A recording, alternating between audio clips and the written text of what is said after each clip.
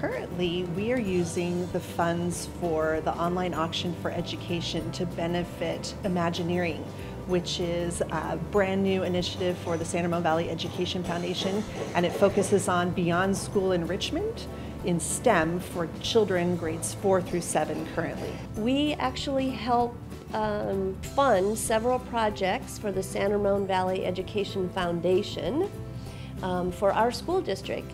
Um, it's a great program because the money that we raise is benefited to all of the schools, not just one or two.